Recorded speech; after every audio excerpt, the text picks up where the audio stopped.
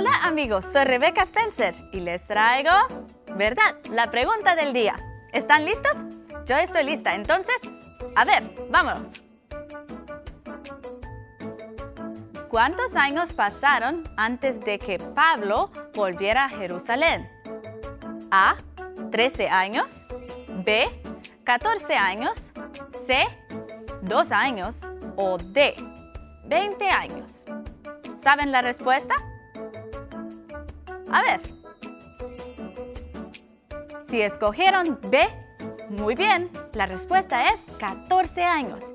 Y pueden encontrar esta respuesta en el libro de Gálatas capítulo 2, versículo 1. Así está muy fácil de recordarlo. Gracias por sintonizar 3ABN Latino y espero que continúen estudiando la palabra de Dios para que cuando venga con más preguntas, ustedes vengan con más respuestas. Hasta la próxima, espero que estén listos. Adiós.